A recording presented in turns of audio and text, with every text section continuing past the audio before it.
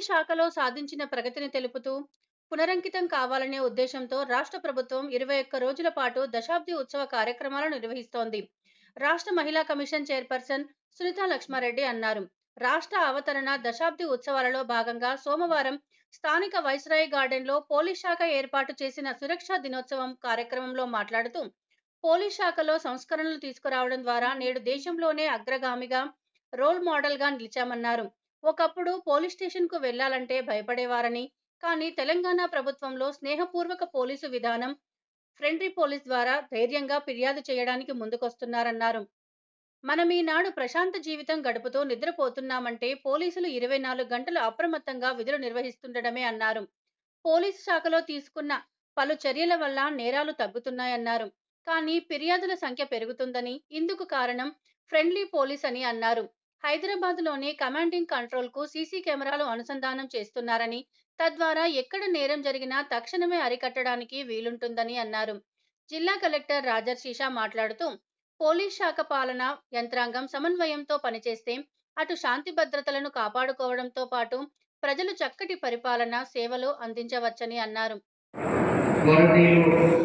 నర్సాపూర్ శాసనసభ్యులు మదన్ రెడ్డి గారికి గౌరవనీయులు విమెన్ చైర్పర్సన్ సునీత లక్ష్మారెడ్డి గారికి గౌరవనీయులు ఎన్ఎన్సీ యాదవ్ రెడ్డి గారికి గౌరవ- మన ప్రెజెంటేషన్ రూపంలో నాడు నేడు పోలీస్ డిపార్ట్మెంట్లో ఎంత మార్పు రావడం జరిగింది. దాంట్లో క్లియర్గా మనందరికీ అర్థం వచ్చింది.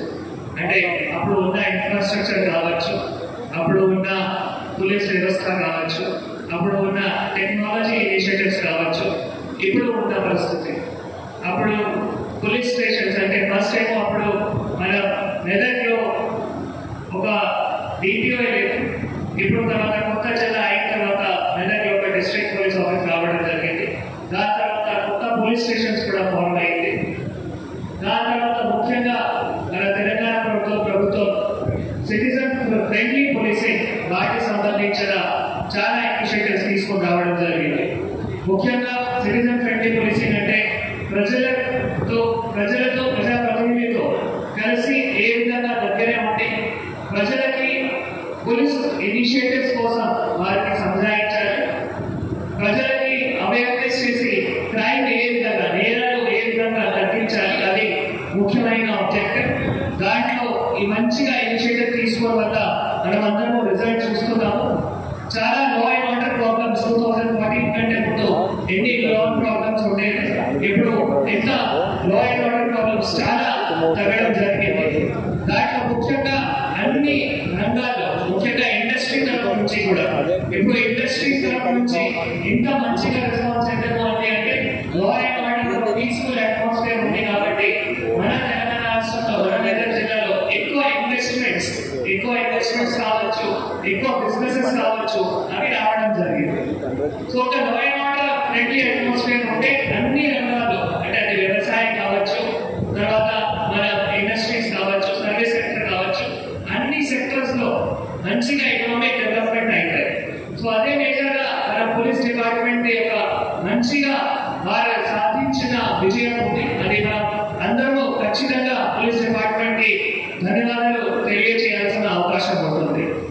మరి తొమ్మిది సంవత్సరాలు కంప్లీట్ అయి పదవ సంవత్సరంలో అడుగుతున్న సందర్భంలో ఈ యొక్క దశాబ్ది ఉత్సవాలను మనము రాష్ట్ర వ్యాప్తంగా ట్వంటీ రోజు ట్వంటీ టూ డేస్ జరుపుకోవాలని ప్రతి డిపార్ట్మెంట్లో మనం సాధించినటువంటి ప్రగతి ఏదైతే ఉందో అభివృద్ధి ఏదైతే ఉందో మళ్ళీ తిరిగి పునర పునరంకితం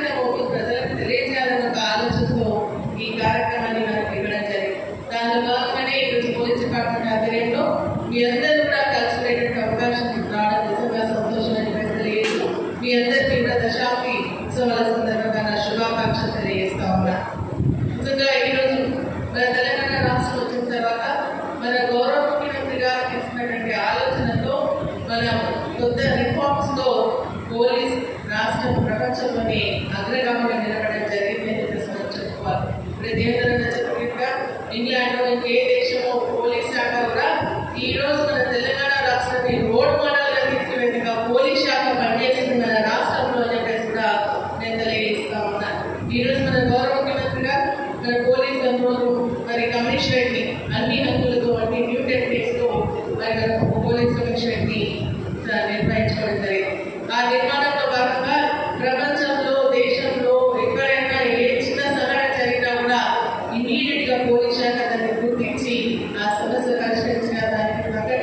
అవకాశం కల్పించడం జరిగింది. అదేవిధంగా ఈరోజు మరి పోలీస్ స్టేషన్ వెళ్ళాలి అంటే భయపడేటువంటి వాళ్ళు. కానీ ఈ రోజు నిజంగా కూడా పోలీస్ శాఖలు పోలీస్ కానిస్టేబుల్ నుంచి రాష్ట్ర స్థాయి వరకు డీజీపీ వరకు ప్రతి ఒక్కరు కూడా ట్వంటీ ఫోర్ బై సెవెన్ వాళ్ళ కుటుంబాన్ని వాళ్ళ పిల్లల్ని వాళ్ళ పక్కన పెట్టి ప్రజల యొక్క పరిరక్షణతో ప్రశాంతమైనటువంటి జీవితం గడపడానికి మీ ప్రాణాలను సైతం లెక్క చేయకుండా త్యాగం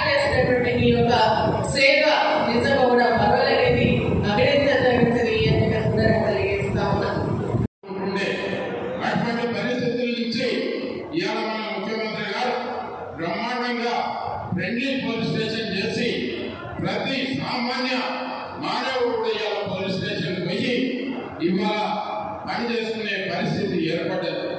ప్రతి ఒక్కరు కూడా ఇవాళ పోలీసు కూడా ఒక సోదర భావంతో ప్రతి ఒక్కరితో కలిసిమెలిసి ఉండి ఇవాళ సమస్యలు పరిష్కారం చేసుకుంటూ ముందుకు పోతున్నదనేది కూడా నేను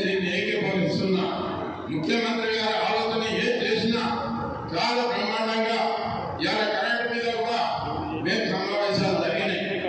ఇలా కరెంట్ సమావేశాలు కూడా మరి మనం ఇన్ని కరెంట్లో ఎన్నో మార్పులు తీసుకొచ్చి ఇరవై నాలుగు గంటల నాణ్యమైన కరెంట్ ఇచ్చి ఇవాళ ప్రజలకు యావత్